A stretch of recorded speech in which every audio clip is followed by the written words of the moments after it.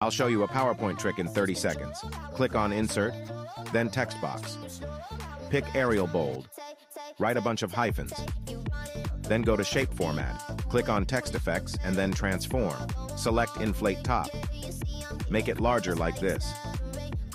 Right-click on it and select Format Text Effects. Click on Text Fill, Picture or Texture Fill. Select your image. Change the background, add some text, and you're done. Follow me for more tutorials.